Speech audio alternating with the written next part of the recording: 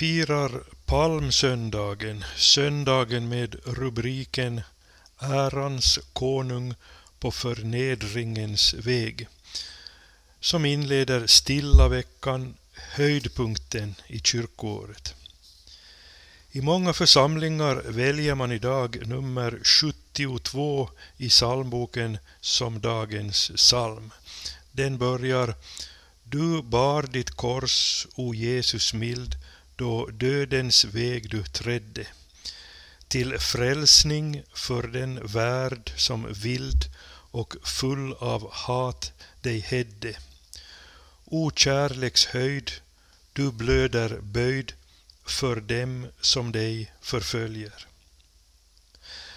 Salmen målar bilden av Jesus på väg mot Golgata, så som Paulus för länge sedan gjorde för galaterna.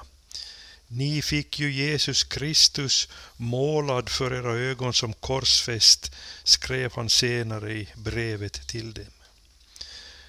Just det gör alla fastesalmerna i psalmboken, alla 29. Du kan gärna ta fram en psalmbok nu och slå upp nummer 60, den andra fastesalmen. Den börjar O huvud blodigt sårat av smälek höljt och spe. O huvud slaget, fårat och böjt i kval och ve. Från anletsdrag som brunnit av helig kärleks glöd All fägring har försvunnit inför den bittra död. Eller lite längre fram, nummer 67. Hand och fot det genomborrat, sträckt på korset är var led. Huvudet av törne sårat, blekt och blodigt sjunker ned. Eller med en nyare psalm 86. Det såg ej dig, din hand kring smärtan krökt, det såg ej dig som under mörknad sol lät korset bli ett fäste för vår tro. Fastesalmerna är tydliga med att vi inte är utomstående åskådare som kanske grips av dramat med Jesus och känner medlidande med honom. Nej, vi är var och en indragna i det som skedde, därför att vi hör till en mänsklighet av syndare. Nummer 59 uttrycker det så. Vi går upp till Jerusalem att se lammet som offras för världens skuld, för dina synder och mina. Eller nummer 63. Det är för mig, för mig ditt blod har flutit, din smärtas mått, o Jesu, själv jag fyllde, allt jag förskyllde. Man hör ibland förkunnelse som liksom vill skynda förbi bilden av den korsfäste. Korset är tomt, sägs det, med syfte på påsken. Då är det intressant att vi har hela 29 fastesalmer i vår trots allt lutherska psalmbok. Från nummer 59 till nummer 87. Det är nästan dubbelt fler än de 16 påsksalmerna. I åtskilliga nyckelverser av Paulus ser vi krucifixet snarare än det tomma korset. Till exempel i Romarbrevet 5 men Gud bevisar sin kärlek till oss genom att Kristus dog för oss medan vi ännu var syndare. Eller i inledningen till första Korintierbrevet Vi predikar Kristus som korsfäst, för judarna en stötesten och för hedningarna en dårskap. Eller i inledningsverserna till Galaterbrevet Nåd vare med er och frid från Gud vår far och Herren Jesus Kristus som har offrat sig själv för våra synder för att rädda oss ur den nuvarande onda tidsåldern. Det kan hända att lutheraner har fått en bättre syn för långfredagen än för påsknatten må var och en förvalta det pund han eller hon har fått. Och visst hör ju både stilla veckan och påsken samman. Också det understryker Paulus bland annat i Romarbrevet 4. Rättfärdighet kommer att tillräknas oss som tror på honom som uppväckte vår Herre Jesus från de döda. Han som utlämnades för våra synders skull och uppväcktes för vår rättfärdiggörelses skull.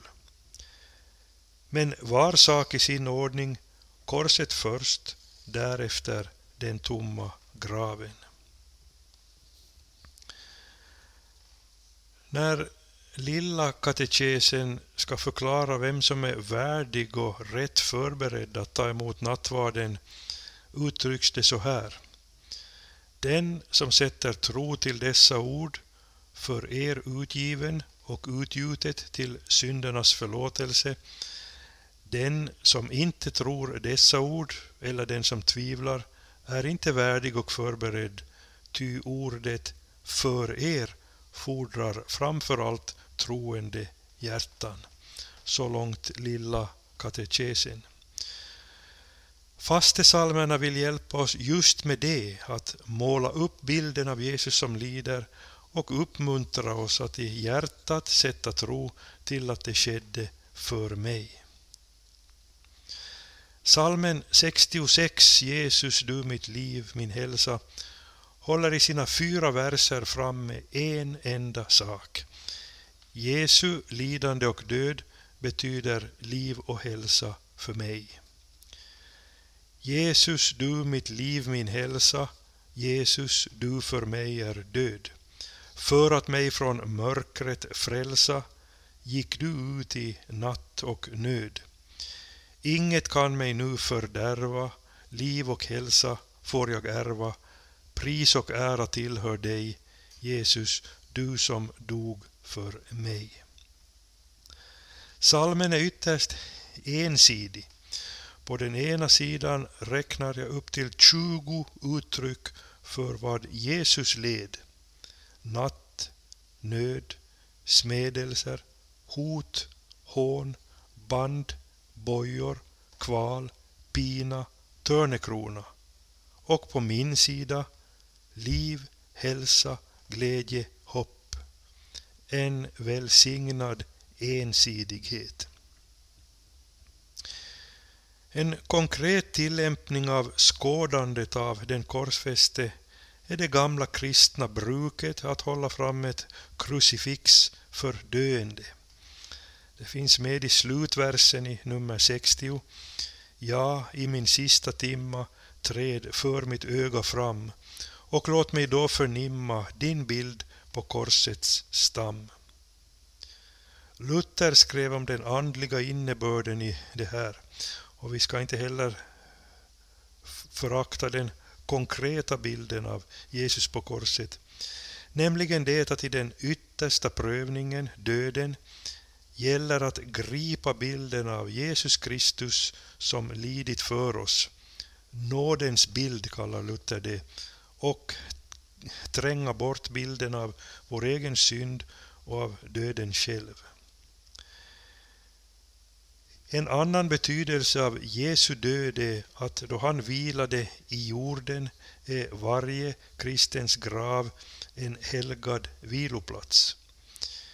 Hela salmen 69 av Jesper Svedberg handlar om Jesu död och grav tillsammans med min död och min grav. För döden är jag inte rädd, ty graven var en gång din bädd. Eller med en nyare psalm, nummer 83.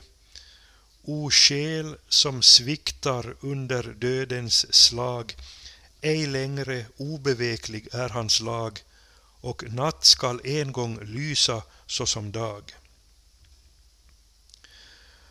Många av fastesalmerna lyfter fram det som sägs i Lilla Bibeln, Johannes 3.16. Så älskade Gud världen att han utgav sin enfödde son. Att en man dör för folket, det som överste prästen omedvetet fick förutsäga, det är stötande för vårt förnuft, för vi, vi vill ju reda oss själva. Men evangelium säger oss att Guds kärlek uppenbaras när Jesus lider och dör. Paulus igen i Galaterbrevet, det liv jag nu lever, det lever jag i tron på Guds son som har älskat mig och utgett sig för mig. Hakvin spegel ger oss i salmen 68 en fin bön för stilla veckan. Öppna du förståndets öga så att jag din kärlek ser och den frälsning du mig ger. När på smärtans kors det höga som Guds lamm du offras här och all världens synder bär. Någon kanske invänder mot orden förståndets öga. Inte kan väl förståndet fatta det som sker på Golgata. Det är väl känslan och hjärtat som behöver vara öppet.